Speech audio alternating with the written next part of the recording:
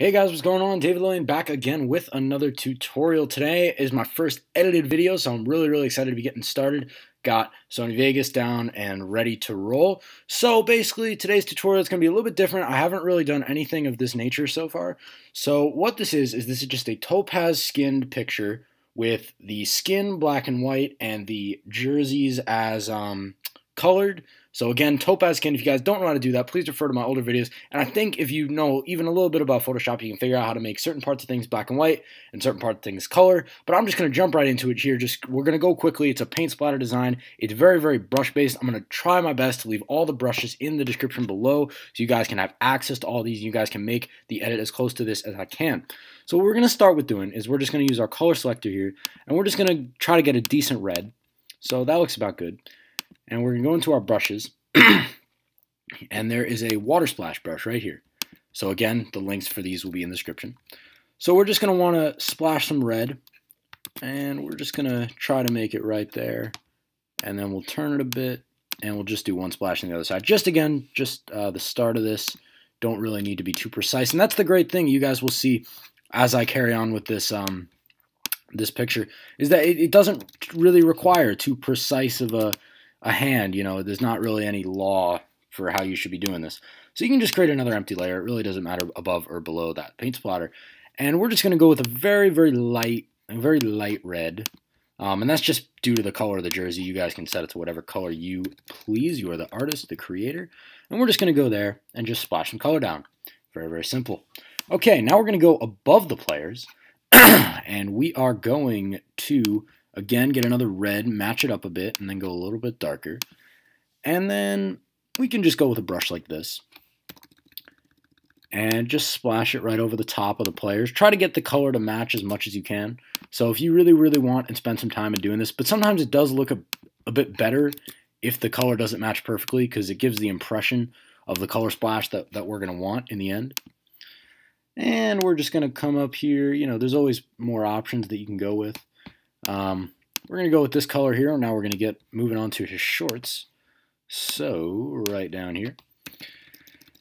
And throw a splash of color down there. By the way, guys, I didn't have time really to do the um, the wallpaper of the day or the uh, contest winner from last week. Basically, what I'm going to be doing is I'm just going to be uh, uh, telling or DMing the person who has won. So keep an eye out for that. If you don't get a DM within the next couple days, just assume you didn't win. Sorry, there's always a chance to win next week. I'm not going to be doing a contest this week because I got so much stuff with footballistics. You guys saw the opening message. Uh, I just don't need that this week, and I would like to hear comments on your feedback necessarily, not just the uh, what I ask. So I'm just going to be holding off on doing that for a week, and uh, we're, we're going to go back to it. Don't don't worry about that. Uh, the contest will be back. You'll have the chance to win a PSD every single week. Um, it's just a little bit of a, a little bit of a break. So we're just going to be coming in here, and I like that little splash of blue. Just going to make it smaller uh, and actually turn it a little bit. Basically, this, this paint image uh, really, really does create a nice texture, and I really do like it. Uh, just got to get it the right space. There we go. Um, and the advantage of this picture, this specific one, is that it has a lot of, you know, very different and distinct colors. So we're just going to come up here and grab a gold which is right here. And this is this is going to be good. So we're just going to grab a skinny little brush. Uh, you guys can see which brushes I'm grabbing, and hopefully you'll be able to find them in your, uh, you know, when if you go and download the brushes. Hopefully you guys are able to get to those. So I think this mustard color here should do do a justice. We're just going to be pinning this on each one of these little Adidas lines. Uh, and if you like, you can switch up the brush just try to match it up to the angle. But again, the, the good news is, is that if it doesn't match the angle perfectly, then it, it does look kind of cool in the end. So that's why I don't always, you know, if you if you're doing this, you don't always have to spend time to make the angles perfect because it does end up looking a little bit better, in my opinion. Um, but it, you know, if you want to spend time, by all means, go for it. Um, and then you can just come up here and just grab some some yellow for this one, and maybe just splash it like that. Maybe you like it sort of with the dry effect a little bit better um, coming off the, the paint. There's a certain brush here. This one I love.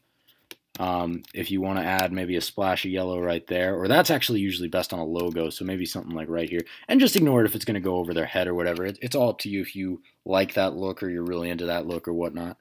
Um, we're just going to come behind the players again. We're just going to add a bunch more red.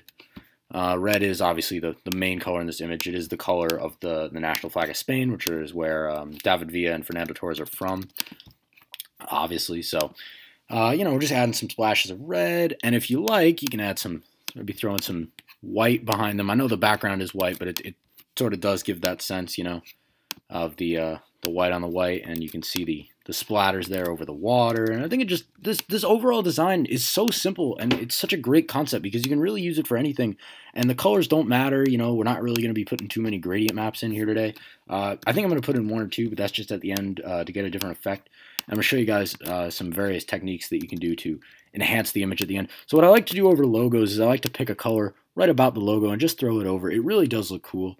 Um, you know, we can go up here with the yellow and just throw in some splashes here. And it really doesn't matter. You know, I'm just going to take down the saturation. It does look a bit overly saturated there. You know, you want to match the color, but at the same time, you just want to be creative and have fun with this one because this design is so simple. You know, it amazes me how easy it is. And this is a concept that I can really uh, stick to me because I, I, feel like I, I really did uh, sort of create this style for myself. I really did not copy this or was able to say that I got inspiration from any one person on this. I really did enjoy the way this came out. And what I like to do is I just like to brush it up if it's above the player. I don't always love that look where the, the paint splatters go right above the player's head. Just mixing up the brushes here. Um, if you guys see a brush that you do like, let me know, and I'm, I'm really going to do my best to hook you up with it. I can't guarantee that I still have. Well, I, I do have most of these brushes. Can't guarantee I'm just going to give them away like that. Uh, but I'll leave the links in the description for what I got in this video. Um, let's see what we're going to go with. Again, it really doesn't matter. You can just take your collection of brushes and, and find something that you like. So I think we're going to go down here and snap up uh, this one here. Nice dry look on this and uh, make sure we're on the brush tool actually and make sure we're on the red and above the player you can create a new layer when you like just like that. I mean, it really does look nice. You can decrease the opacity if you like, if you don't really like it too splattery. Um, you know, go over it again, maybe with the sock. I really do like the look on the sort of external limbs if you have the, the colors flying off. I really think it does give a great effect. Um, from the side here, we're going to have some blue splashing in. So, you know, really easy, simple to follow tutorial. The only thing that you really do need for this is the brushes, and that's that's what's going to make or break this design for you. So if you got the uh, you know the resources, then you can really handle it.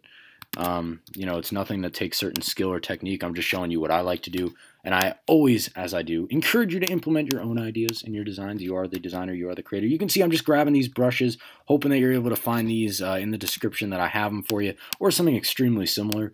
Like I said, you're the creator. It doesn't really matter which ones you use.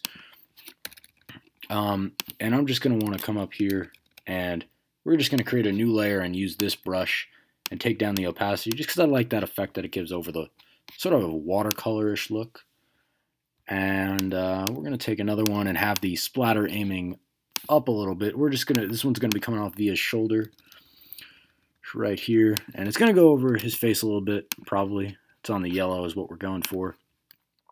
And then again, you can just erase it. Sometimes you erase with a brush that's not just the standard brush. It really does bring out a nicer effect in it, something that I do enjoy doing um, from time to time. And then, you know, you come back here to the bottom. You can do whatever. You can, uh, you know, do a black splatter, let's say, from behind them all. You know, black isn't really incorporated into this picture too much, but if you like it, then go for it. If you would rather, you know, I always like to brush brush around. I can see there's some things on his face here. So I'm just going to try to find the layer that it's got. Come in here with a simple eraser. And it's right over his eyes, so there we go. Um, you know, at this point, you're just messing around. You can go with this black splatter in the back if you like. Um, if you want, you can actually switch the whole thing to black.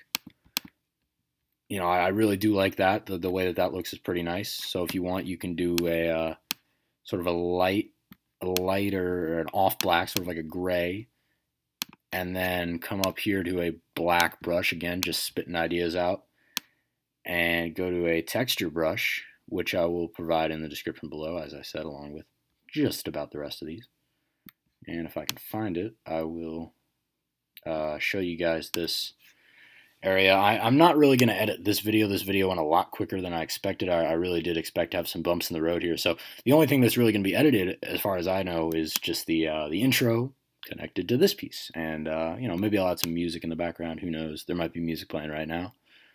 Um, yeah, let's see. Do I have this brush? I don't I have it on here. Let's see. Can I find it down here? All right, I'm going to load it in so you guys can see the name of it. Just want to do a double check. Oh, here it is, right here. Skipped over probably a thousand times. Okay, so we're just going to come in here with this 2500 one.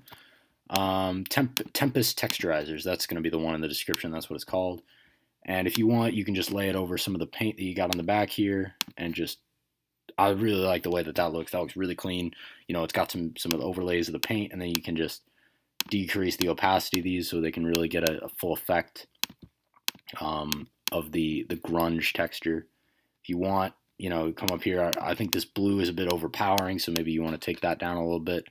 Um, and you can just really, it's it's your canvas. You know, you guys can mess around with this how you please. Um, you come up here and you can make the uh, um, that black and white, or you can make the um, you know this an off white. And if you want a little bit like that, I personally like it best as a darker gray. Um, and then you can add some gradient maps. Like for example, we're just going to be doing a um, a black and white. So set the cure colors to black and white, go up to gradient map, and then go up to multiply. And something like something like that could work. Again, if you want to switch it back to white, you can. Uh, I think we're going to hold off on that. We're just going to go with the gray now. If you want, you can see what a uh, screen gradient map looks like. Uh, the screen will bring out the more white side, and the black, uh, the multiply will bring out the more black side. Uh, maybe you can add a photo filter if you like. So just um, just going to move myself down here and increase maybe a, a, warm filter or a cool filter if you like that look. I know that's similar to my last video, but I'm just messing around with ideas here. I, I really do like this, and maybe we'll create one more gradient map and just do a soft light to increase contrast or whatnot. Um, and yeah, just mess with the layers, invert the colors by pressing Command I. See what you like, see, see what you don't like. Um, you know, it, it's your it's your world here. Um, I just figured I'd do a simple tutorial today because I really do owe you guys a tutorial. I looked, I haven't uploaded in over a month. I couldn't believe that, and I've gotten loads and loads of sayings. Oh, where's the next tutorial? So here it is, guys, and I hope you did enjoy it. Um, you know, I know it's kind of simple and kind of quick, but in any event, I hope this helped. If this video helped you in any way, shape, or form, please remember to give it a like if you're new to subscribe. Hope you have a great day. Remember to follow Footballistics, uh, the new account that I'm part of. Link is in the description below. I'll still be posting more football artwork. I'll be taking requests only on that page, so uh, you know, links to my Instagrams in the description below. Hope you all have a great day, and I will see you guys next time. Peace.